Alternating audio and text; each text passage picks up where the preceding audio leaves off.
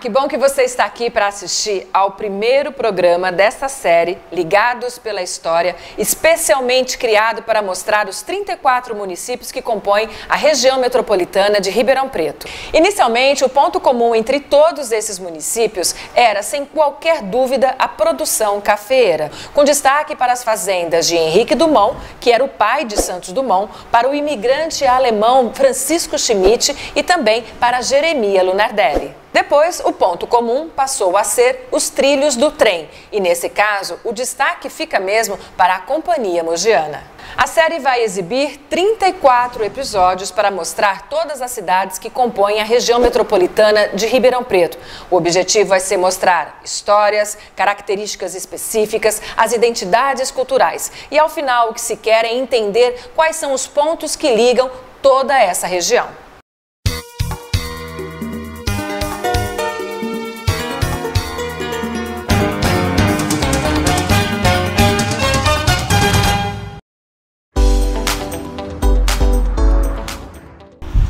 Viagens sempre começarão por Ribeirão Preto.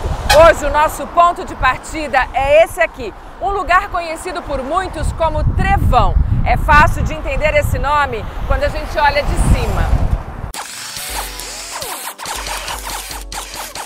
Com muitas entradas e saídas, esse trevo faz conexão com rodovias que nos levam para várias cidades da região metropolitana. A rodovia Antônio Machado Santana nos leva para Sertãozinho. Se pegarmos a Anhanguera em direção à capital, a primeira cidade é Cravinhos. Uma saída logo do lado nos leva a Serrana e aí cada vez mais para o interior do estado. Do lado inverso, ainda pela Anhanguera, podemos seguir para Jardinópolis e, nesse sentido, chegar até Brasília depois de passar por cidades mineiras como Uberlândia. Nossa série começa visitando Brodowski, conhecida como a cidade onde nasceu o pintor brasileiro Cândido Portinari. Coloca o cinto de segurança e vamos embora. Desse ponto que estamos saindo até Brodowski tem uns 30 quilômetros, o que dá para fazer em menos de 30 minutos de carro. Ao sair da Anhanguera, a gente entra na rodovia que leva o nome do pintor Cândido Portinari. Depois de duplicada as pistas, o trecho ficou muito bom e a viagem é tranquila.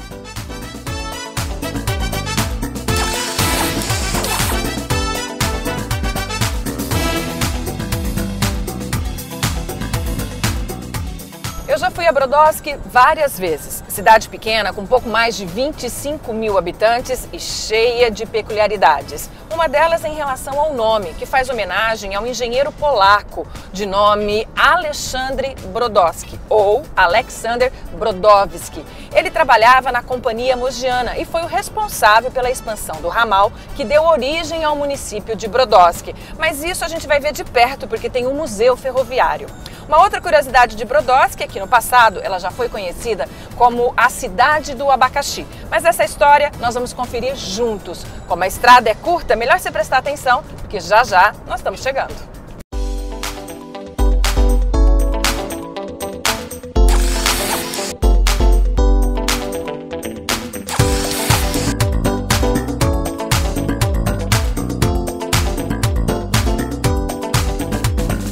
Nós fizemos o percurso em menos de 30 minutos. Já no município, fomos recebidos pelo arquiteto José Antônio Lanchotti. Lanchotti, você é da cidade? Sim, sou nascido aqui em Brodowski, literalmente, porque nasci de parteira. Ah, então é Brodowski e Brodowski. Sou brodowskiano mesmo. Mas trabalha em Ribeirão Preto. Trabalho em Ribeirão Preto que já é há uma 28 rotina, né? anos. Sim, uma rotina é, é muito próxima, né? a cidade é muito próxima de Ribeirão Preto. Então, em menos de meia hora eu já estou no meu local de trabalho. Bem, não foi à toa que a gente marcou o nosso encontro neste ponto da cidade, porque se tornou um lugar bem especial. Depois de 2019 foi edificado esse portal de recepção aqui? Isso, tanto esse portal como os outros três que, né, que nós vamos visitar, são portais é, fazendo uma homenagem ao filho mais ilustre, ao Cândido Portinari, com menções às grandes obras é, dele durante toda a vida. E quem fez esse portal? É, é um artista plástico, plástico chamado Adélio Sarro, né? É um, um artista que foi casado com uma produsquiana por muitos anos, né? E se inspirou, né? Ele tem muitas obras é, que tem traços que lembram as obras de Portinari e ele se especializou hoje, é um grande artista também de renome nacional.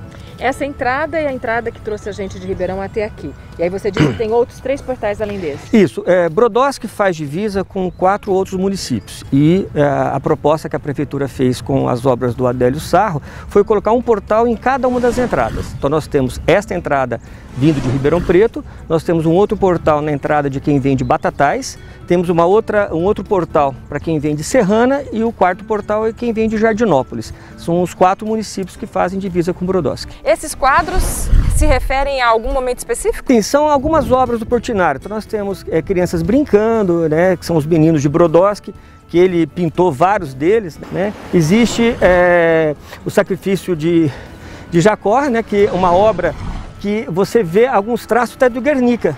Né? Você vê um, uma, uma, relação que impressionou é, Portinari é, é, com a obra do, do, do, Picasso. E nós temos do outro lado também outras obras né, é, que ele se inspirou. E essas quatro obras? Menino Tabuleiro, é, Mulher Chorando e aqueles dois é, da obra é, Crianças Brincando. E onde a gente vai agora para conhecer Brodowski? Nós vamos conhecer agora o portal de quem vem de Jardinópolis.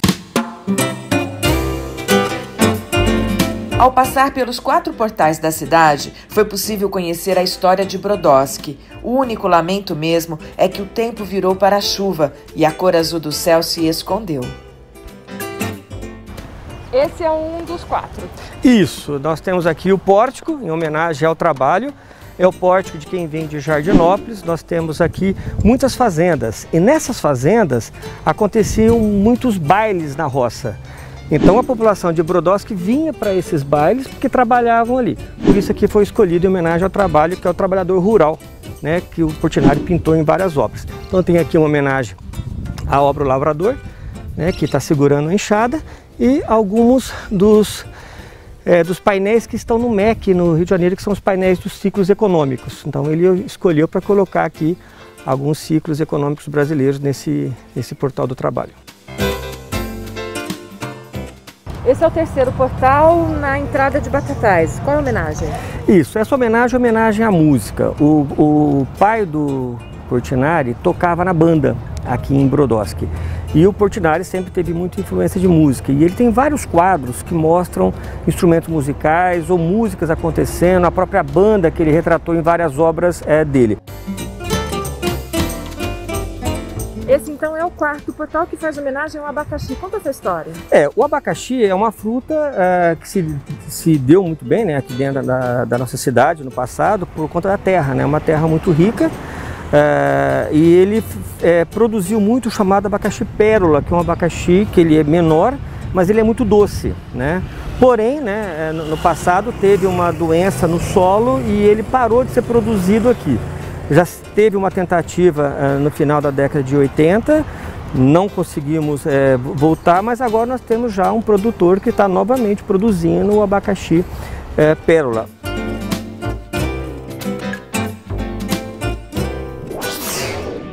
A Associação Cultural de Apoio ao Museu Cândido Portinari fez um concurso para escolher as sete maravilhas de Brodowski.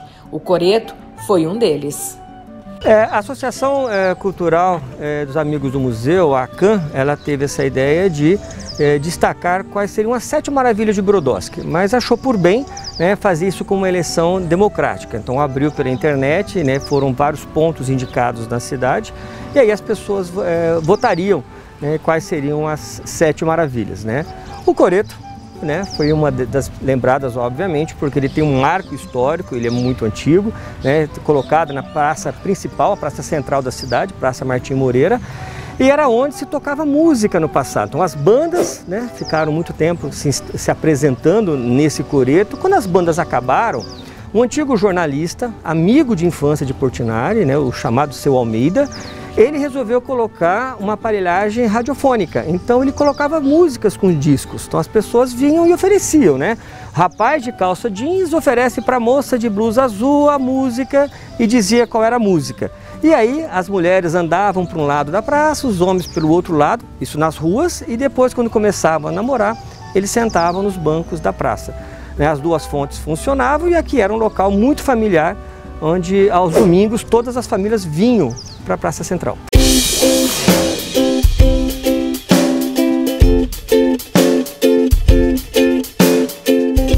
O centenário Jatobazeiro é uma das maravilhas de Brodowski, ao lado da escola Tiradentes, a primeira do município, especial também porque nela estudou o menino Candinho. A matriz, que já sofreu muitas mudanças em sua estrutura, está na lista das maravilhas, assim como a estação do trem onde tudo começou. O seminário, ainda em atividade, foi escolhido como uma das maravilhas, mas aqui vamos dar uma parada porque o lugar guarda uma história que vale a pena ser contada.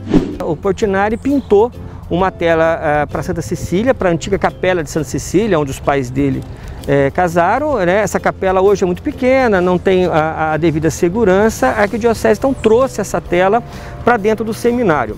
E na década de 80, um seminarista muito apaixonado pela tela, mas sem saber o valor dela, ser de Portinari, ele acabou cortando a tela, tirando da moldura e roubou essa tela. Quando deu a repercussão na televisão né, da, do roubo, que o rapaz percebeu, ele enrolou a tela, colocou num saco, colocou no, jogou no Bosque Municipal de Ribeirão Preto e avisou a imprensa que estava lá. Né, porque ele não sabia do valor da, da tela, ele achou que era apenas uma santa. É, e aí é, esse enrolar da tela craquelou toda a pintura, né? A tela hoje ela está toda esticada, mas eu não tenho conhecimento se ela chegou a ser restaurada. Como não poderia deixar de ser, o Museu Casa de Portinari se destaca entre as maravilhas de Brodowski. E é claro que aqui nossa parada vai ser um pouco maior.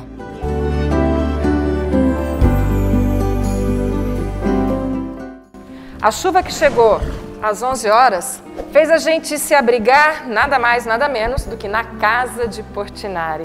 E para a gente fazer esse passeio absolutamente necessário para qualquer pessoa que quer entender a obra desse artista e também entender a influência dele, o impacto dele na cidade onde ele nasceu, tem que fazer esse passeio. E a gente tem o privilégio, não é para muitos, de fazer o passeio guiado aqui, pelo menos a primeira parte, com a Angélica, que é uma das grandes responsáveis, né, coordena todo o trabalho da Arcan e com muito carinho e com muita proximidade faz aqui esse trabalho de gestão é, do museu. Angélica, vamos começar contando para o pessoal qual é o grande impacto, qual é a grande importância para Brodowski a existência do museu na cidade? É com muita alegria que nós né, te recebemos aqui para poder contar um pouquinho dessa história, um pouquinho da história de Portinari, um pouquinho do trabalho que nós fazemos pela preservação e pela divulgação da, da memória dele. O Portinari é um dos maiores artistas brasileiros de todos os tempos. Então, é evidente que esse museu, ele não é um museu que tem um trabalho só para um público local. Né? O nosso museu recebe visitantes de toda a nossa região, recebe visitantes de fora do nosso país, mas a gente tem esse cuidado de pensar num trabalho de preservação e difusão da memória do Portinari. Né? Porque assim, para a gente conhecer Cândido Portinari, a gente passa necessariamente pela essência da relação dele com a terra natal. E tem uma frase do Portinari que é emblemática, que nós usamos sempre né, no, nos nossos trabalhos, que ele fala que a paisagem onde a gente brincou a primeira vez, a gente com quem a gente conversou a primeira vez, não sai mais da gente. O Portinari adotou o Rio de Janeiro como a cidade onde ele desenvolveria a carreira dele, mas ele nunca cortou laços com a terra natal. E aqui, além de ser a casa dele, onde ele cultivava os laços com a família, com a origem dele, ele também é, o trabalho. A casa dele pode ser entendida até como um ateliê ela toda, embora ele tivesse um ateliê na casa, porque demonstra e ficou registrado esse espírito dele inquieto, de um artista que queria dominar as técnicas, porque o Portinari foi um profundo trabalhador da pintura, assim, ele se debruçou sobre as técnicas, né? E essa casa aqui, ela entrelaça muitas memórias. Então a gente está falando da memória cafeira, da memória ferroviária e da memória da imigração italiana. Visitar museus, a gente tem que pensar sempre nas experiências. Mas assim, por exemplo, a estação ferroviária, né, que hoje ela é um bem para nós único porque ela é o, o ela representa o, o, começo da nossa cidade, né, assim simbolicamente. A cidade nasce a partir da, da, da construção, né, a partir da é, da construção da linha férrea que ia cortar as terras aqui das fazendas. Dr. Brodowski, que era o engenheiro responsável né, na época, e os imigrantes vieram para fazer o trabalho na lavoura de café. Entre os imigrantes, né, veio o, o pai do Portinari, a, a família da mãe também.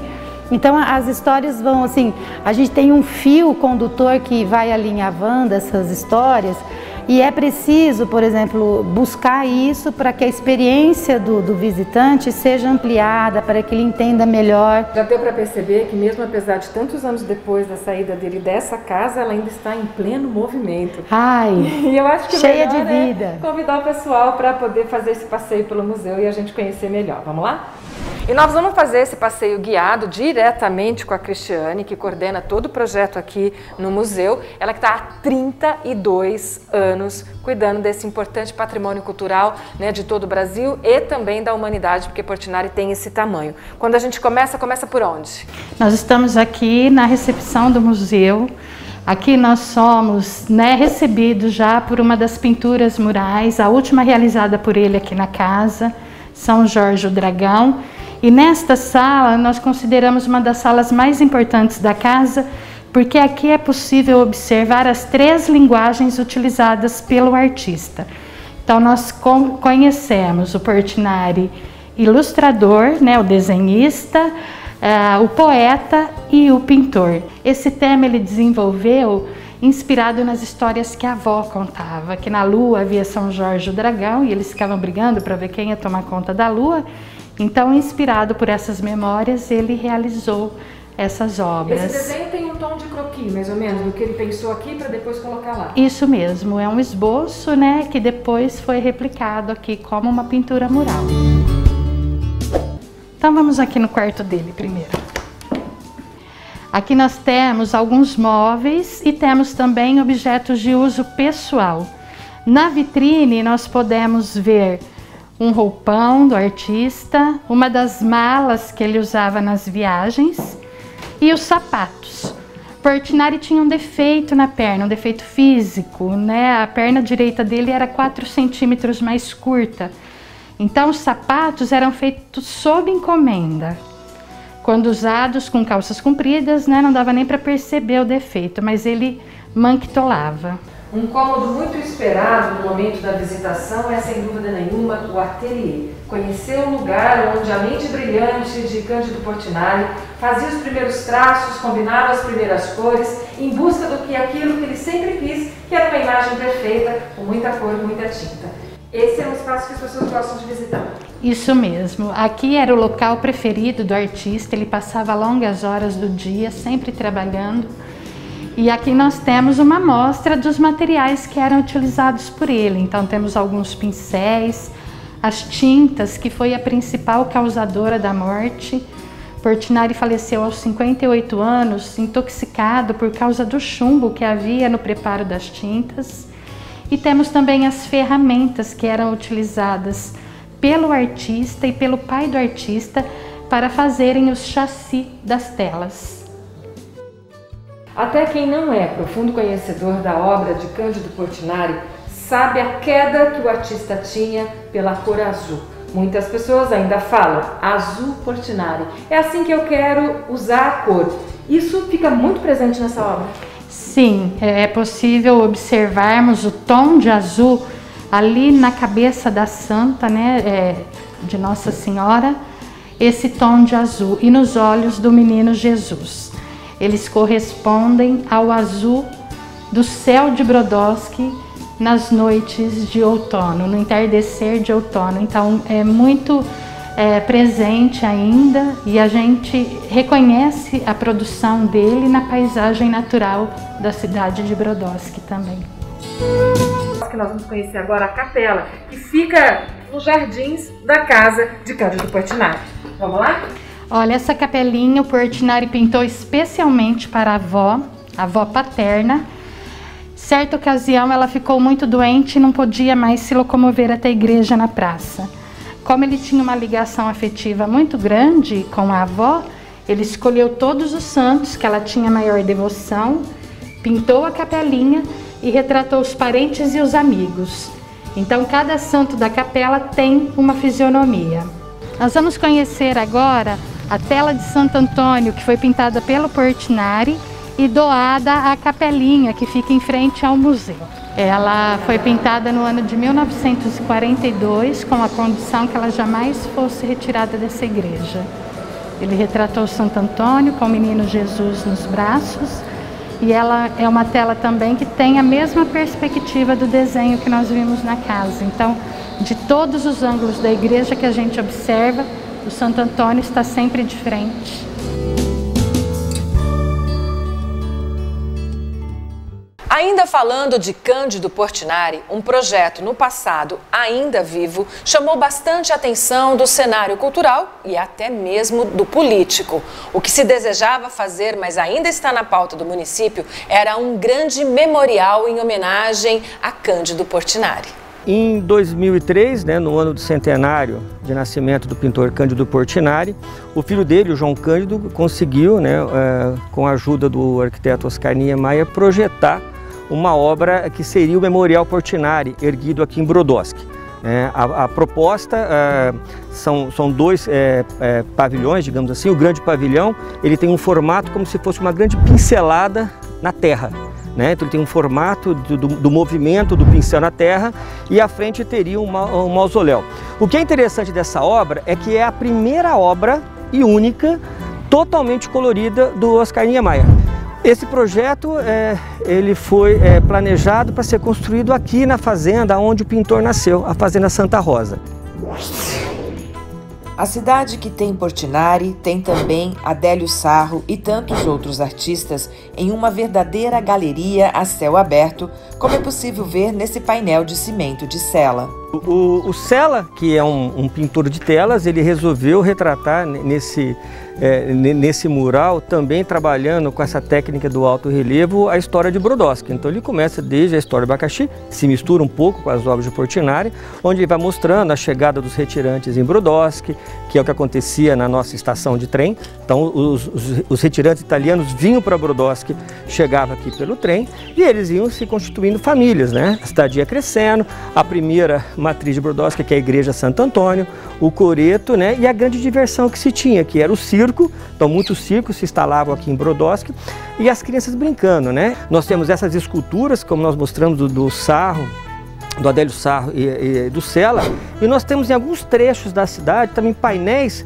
com trechos de poesias de Portinari, porque o Portinari arriscou a escrever um livro de poesias né? E ele até tem a, grande frase, né? Que ele diz que se eu soubesse as letras como eu sei as cores, né? Por quê? Porque ele se reconhecia que não era um bom escritor, mas ele era um grande pintor. Mas ele tem um livro de poesias.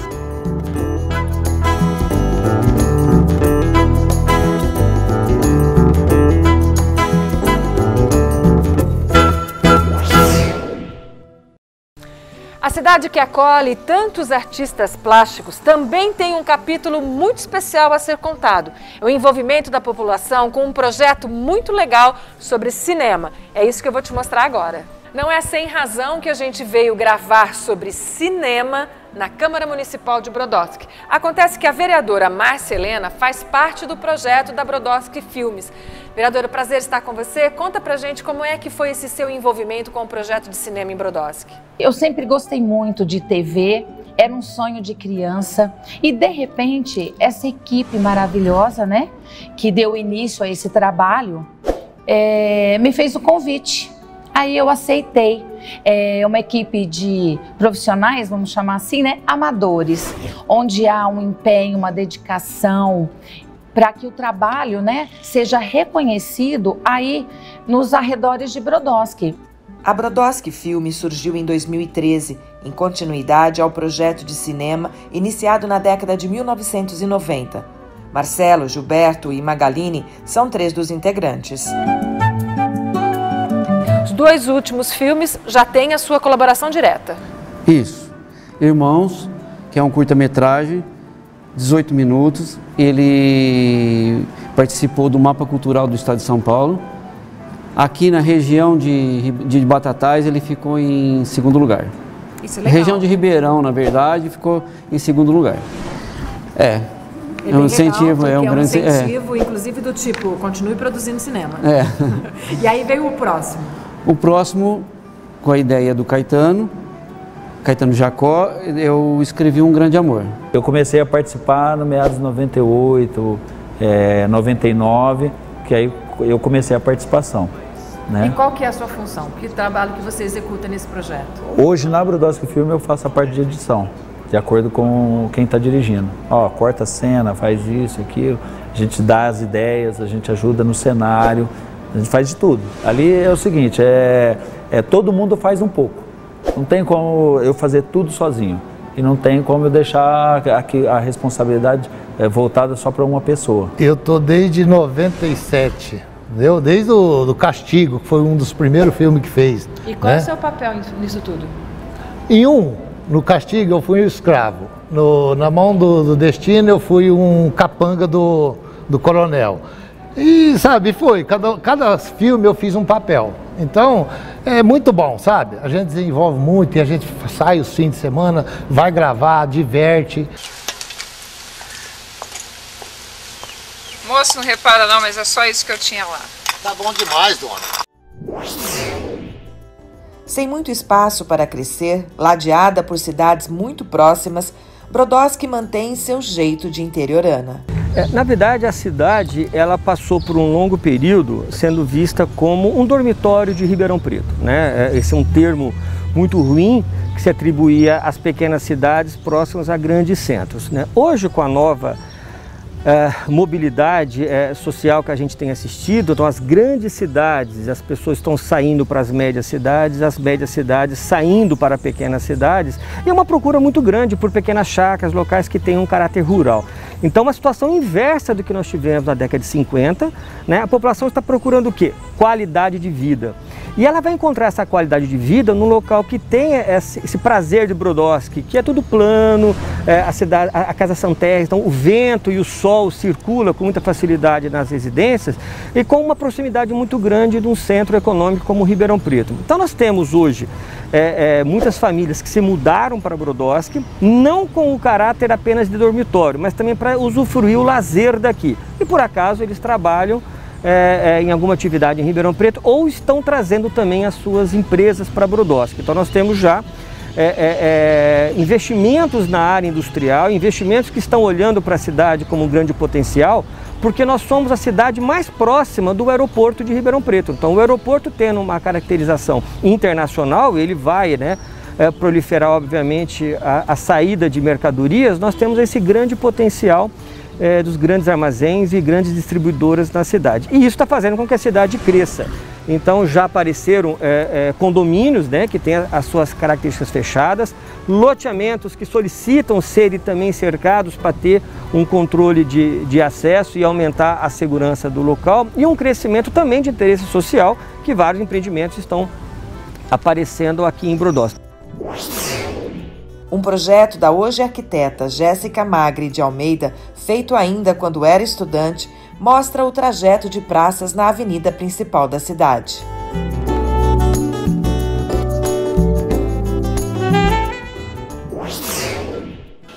Artes e ofícios significa a habilidade de fazer alguma coisa muito específica. No caso de Brodowski, uma bela história a ser contada é a tanoaria. Por isso a gente está visitando uma das mais antigas da cidade, 83 anos em atividade. Quando a gente olha, não dá ideia de como isso é feito.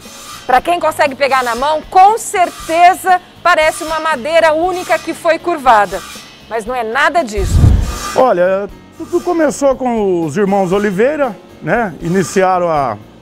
O senhor Geraldo aprendeu o ofício.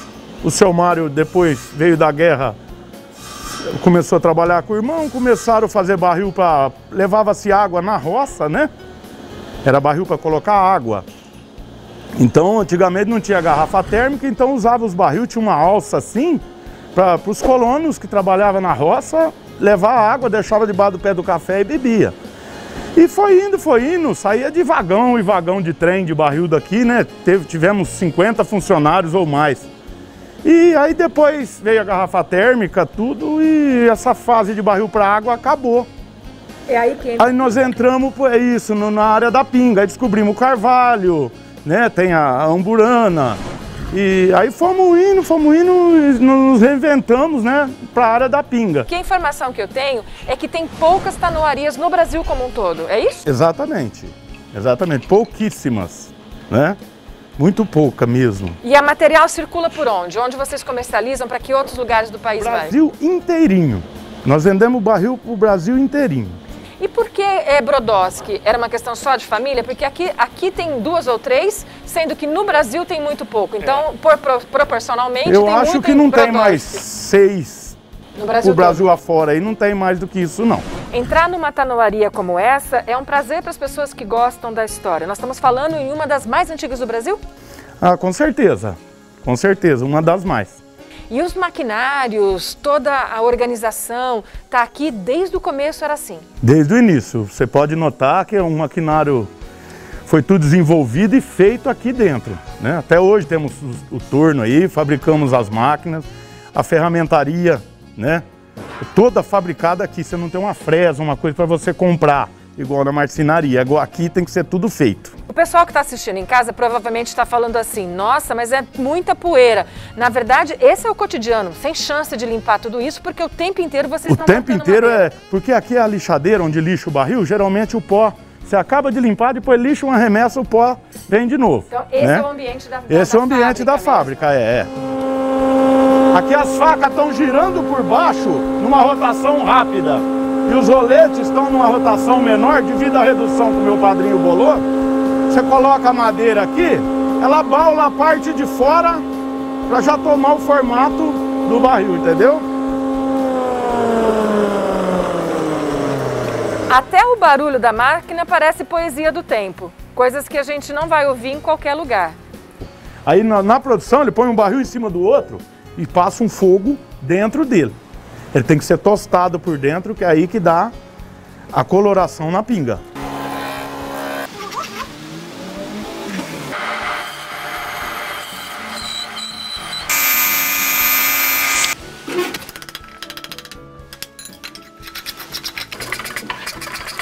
Pilão, quantos você faz por dia desse? Ah, eu e meu companheiro, nós fazemos hoje 33, né? Uhum. Oswaldo, vai continuar pela geração futura da família? Ó, a gente espera, né? É, a gente torce para que dure e perdure aí mais, é, pelo menos aí uns 10 anos, né? Vamos dizer assim, né? A gente nasceu aqui, bem dizer, né? É um orgulho pra gente isso aqui, né? Então, a, a vontade nossa é que permaneça aí pelo menos mais um tempo, né? Cleonice, Jacirene, Angélica, Joyce, Ângela, Giovanni são somente algumas das 32 mulheres que trabalham na fábrica de costura da empresária Débora Rosa Soares, um negócio que envolve toda a família. Minhas irmãs começaram com uma fabriquinha na cozinha da minha mãe, com quatro máquinas. Dessas quatro máquinas foi aumentando, aumentando, até que eram em três irmãs, cada uma foi se dividindo e foi formando a sua confecção. Quando vocês começaram, é, sempre foi um projeto de empregar mulheres? Sim, sempre foi um projeto de empregar mulheres. A prática deu a algumas dessas mulheres uma velocidade impressionante. Essa imagem não está acelerada.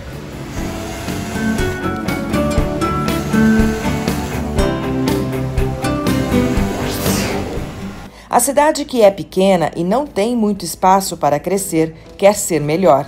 Eu conversei com o presidente da Associação Comercial e Industrial sobre o projeto de criação de um centro empresarial e industrial, que está sendo chamado de THO 4.0. É um projeto de grande vulto, porque eu estava em São Paulo e já fiquei sabendo lá que estaria. E grandes empresas já estão querendo vir para cá. Por quê? Perto do grande centro que nem Ribeirão Preto, um aeroporto que pode se tornar internacional, que isso daí facilitaria muito para nós aqui. Em uma longa conversa com a turismóloga e membro do Conselho de Turismo de Brodowski, Raquel Delamie Schnorr, fiquei sabendo sobre o recém-conquistado MIT, uma política do governo do estado de São Paulo que reconhece os municípios de interesse turístico e os apoiam com recursos anuais.